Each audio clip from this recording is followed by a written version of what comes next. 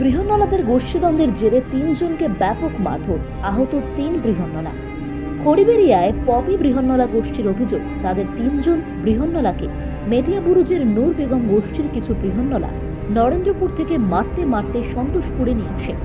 এদের মধ্যে একজনের অবস্থা সংকটজনক। তাদের হাতে কিছু অশ্লীল পোস্টার এবং ব্যাগের মধ্যে লোহার ধারালো অস্ত্র দিয়ে রবীন্দ্রনগর পুলিশের হাতে তুলে দেয়। তাদেরকে ব্যাপকভাবে মারধর করে মেরে ফেলার হুমকি দেখিয়ে কিছু ভিডিও তারা রেকর্ড করে নেয়। তাদেরকে বলতে বলা হয় তারা ধারালো অস্ত্র নিয়ে এসে নূর বেগমের বৃহন্নলাদের খুন করতে এসেছিল এবং অশ্লীল ভাষায় পোস্টার তাদের এলাকায় লাগাচ্ছিল। পুলিশ তাদের আটক করেছিল, কিন্তু পরে তারা বেল পেয়ে ছাড়া পেয়ে যায়। এরপরেই তারা ক্যামেরার সামনে নূর গোষ্ঠীর বিরুদ্ধে ক্ষোভ উগরে দেয়। তারা বলে, নিজেদের এলাকায় কাজ করতে পারছে না, যখন তখন এসে মারধর করছে এবং মেরে ফেলার হুমকি দিচ্ছে। প্রশাসনের কাছে তাদের অভিযোগ প্রশাসন যেন সঠিকভাবে ব্যাপারটা দেখে এবং দোষীদের শাস্তি দেয়। দু লাখ করে টাকা খেয়েছে পুলিশটা। হ্যাঁ পুলিশ হালদার। প্রদীপ হালদার। ও ঘুষ খায়। মেজু মেজু বাবু। ঠিক আছে? আর আমরা কি করব স্যার? আমাদের জানের বয়ে আমরা লাস্ট মে উকিল ধরে একদম আলিপুর থেকে আমাদের চালান করে দিয়েছে। কোর্টে উঠে আমরা জামিন হয়ে জান বিচি এসেছি। এসেছি।